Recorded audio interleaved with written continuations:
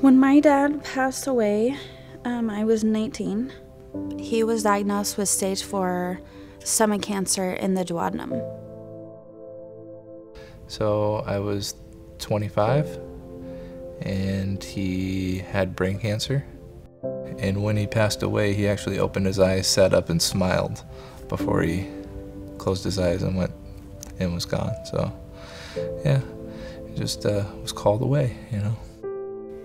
You hear about things happening like that, but you don't think it's going to be your family. My dad was very honest and very true to himself. He had a built-in BS meter. He could he could hone in on it, and then he would, you know, he would tell you, you know, you need to fix that, and I'm gonna help you, and I'll love you, and I'll pray for you.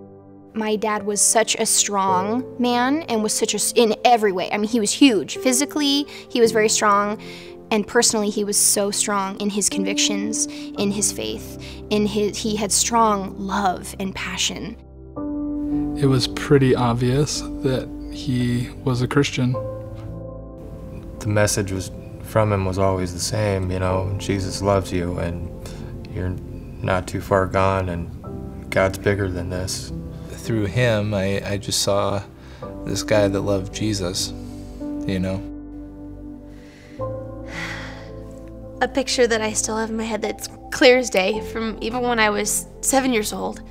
My room was upstairs, and you'd go down the stairs, and there's the living room and a kitchen. And right there in the front window, pool of light, you know, morning sun, there's my dad sitting in his chair.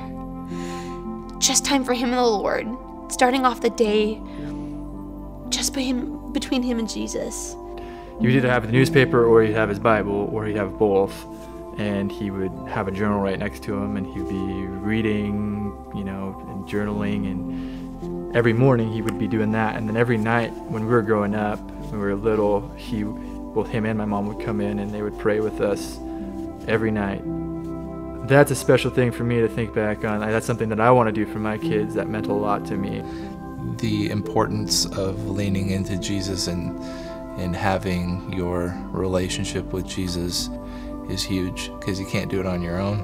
When I was growing up, I wasn't necessarily listening to everything that he was saying all the time, but I was watching what he was doing. And I I could see who he was by what he did. Your kids hear what what you say. They they watch you. They are listening and hearing and picking up so much more than I think parents are really aware of. i think the way that i'm going to parent based off of how i saw my dad do it is i'm not going to be afraid to tell my kids that i messed up if i mess up tell them i'm sorry remembering back to conversations we had in the last month of his life and him looking at us and saying, You guys are going to be okay. You're going to be okay. He had a conversation with us and he's like, You guys know that, that it's going to be fine. I'm not going to be here. And, but you guys are going to be okay. And I'm okay with it. And I know that your mom's going to be fine. And everything's going to, you know, yeah. i asked him like are you do you think you're gonna you think you're gonna go? You think you're gonna die? And he told me he's like i don't think god's gonna take me yet because i'm not done. That statement that he said like he's not done yet. God still used him in his death to help bring back my brothers to jesus.